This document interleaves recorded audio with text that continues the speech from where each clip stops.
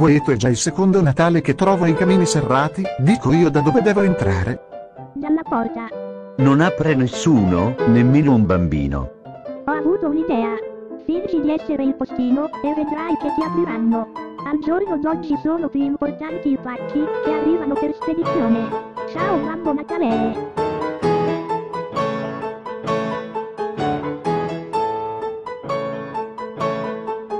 Che differenza c'è tra me e te?